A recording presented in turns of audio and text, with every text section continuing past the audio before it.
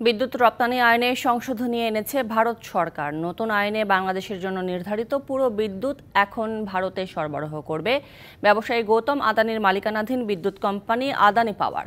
ভারতের কেন্দ্রীয় বিদ্যুৎ মন্ত্রণালয়ের একটি স্মারক অনুযায়ী বাংলাদেশে একচেটিয়া বিদ্যুৎ সরবরাহ আইন দুই হাজার আঠারোতে সংশোধনী আনা হয়েছে।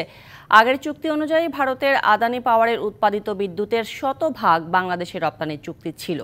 শিক্ষার্থীদের তীব্র আন্দোলনের মুখে পদত্যাগ করে শেখ হাসিনা ভারতে পালিয়ে যাওয়ার প্রায় এক সপ্তাহ পর এই পদক্ষেপ গ্রহণ করেছে দিল্লি।